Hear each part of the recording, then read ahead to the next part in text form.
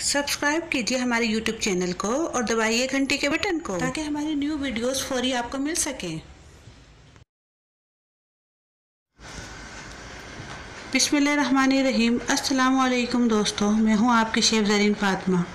आज मैं आपके साथ शेयर कर रही हूँ बिस्किट्स की रेसिपी जो कि बहुत इजीली तरीके से घर में तैयार हो जाते हैं और वो भी विदाउट अवन मैं आज आपको बताने जा रही हूँ। दोस्तों, उम्मीद है आपको मेरी आज की रेसिपी पसंद आएगी। पसंद आए तो मुझे ज़रूर लाइक कीजिए, मेरी रेसिपीज़ को शेयर भी कीजिए और प्लीज़ मुझे सब्सक्राइब करना बिल्कुल भी मत भूलिए, जो कि बिल्कुल फ्री है, कोई चार्जेस नहीं इसके। और साथ ही बेल का आइकॉन भी दबा दीजिए। तो चलिए आइए, शुरू करते हैं फिर आज की रेसिपी चलिए आइए देखते हैं। बिस्किट बनाने के लिए हमें किन किन चीज़ों की ज़रूरत पड़ेगी? इसके लिए हमने 50 ग्राम हमने ये बटर लिया है। हाफ़ कप हमने ये चीनी ली है। हाफ़ कप हमने ये मैदा लिया है और फोर टेबल स्पून हमने ये पाउडर शुगर ली है और एक चुटकी हमने ये नमक की ली है और वन टेबल स्पून हमने ये दूध लिया है और वन टीस्पून वेनिला एसेंस जाएगा।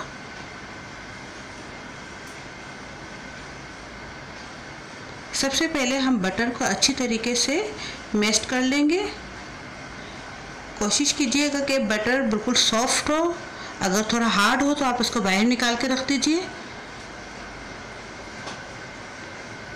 अच्छी तरीके से हम इसको किसी चमचे की मदद से या विस्क की मदद से इसको हम अच्छी तरीके से मिक्स कर लेंगे मेस्ट कर लेंगे बिल्कुल।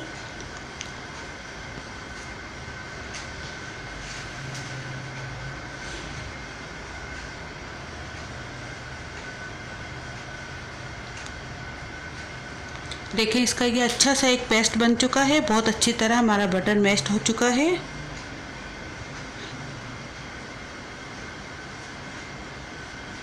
अब इसके अंदर हम ये शुगर डाल रहे हैं पाउडर शुगर आप दानों में शुगर मत लीजिएगा पाउडर में ही शुगर लीजिएगा। अब इसको भी अच्छी तरीके से हम मिक्स कर लेंगे। देखें बहुत अच्छी तरह ये मिक्स हो चुकी है।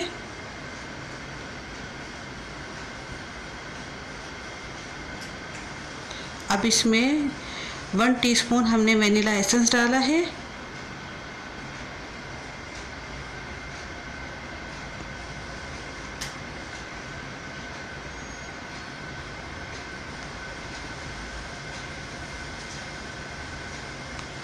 अब इसमें हम ये सूजी डाल रहे हैं। सूजी, आप बारीक वाली सूजी लीजिएगा, मोटी सूजी मत लीजिएगा। और साथ ही इसके अंदर हम ये मैदा भी ऐड कर रहे हैं। अगर मैदा ना हो तो आप इसके साथ आटा भी डाल सकते हैं मैदे की जगह पर। ये हम नमक भी डाल रहे हैं।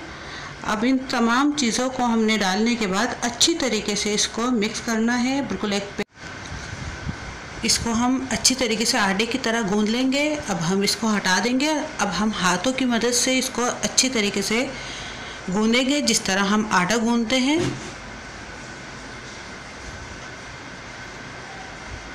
देखिए कितना सॉफ्ट और कितना अच्छा हमारा गूंदा जा रहा है।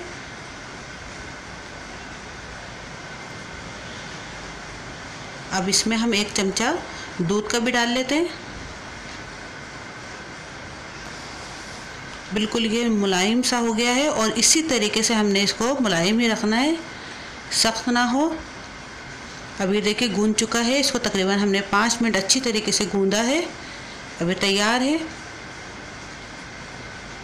अब हम कोई भी ऐसा प्लास्टिक का रेपर लेंगे और ऐसा गोल गोल हमने इसको राउंड की शक्ल में घुमाकर इसको अच्छी तरीके से इस रेपर पे हमने रख देना है।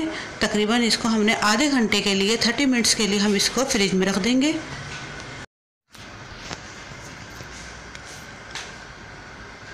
अब देखें, हमने एक ऐसी कढ़ाई ली है जिसमें नमक डाल दिया है और तकरीबन आधे घंटे के लिए हमने तेज़ हीट पर इसको गर्म करना है।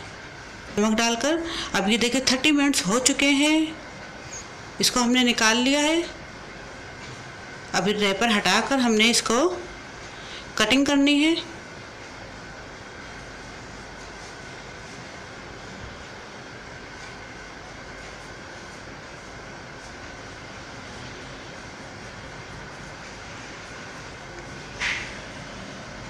देखो, इसको ऐसे गोल गोल हमने काट लेना है। आप देख लीजिए, ये कितनी मोटाई है इसकी।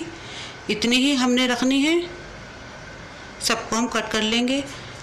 देखिए हमने सबको कट कर लिया है। अब हम इसको जो भी शेप देना चाहे, हम उसको दे सकते हैं। इस वक्त मैं इसको इस ऐसी शेप दे रही हूँ, चकोर की। इस तरह मैं सब बना लूँगी। देखिए, सब बना लिए मैंने। अब एक ऐसा मैंने एक फोर्क लिया है। इससे मैं इसको इस तरीके से डिज़ाइन दे दूँगी।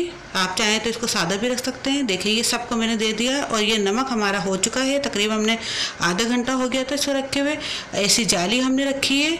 अब इसके ऊपर हम तमाम अपने बिस्किट्स रख देंगे और इसको हम कवर कर देंगे। तकरीबन ट्वेंटी फाइव मिनट के लिए।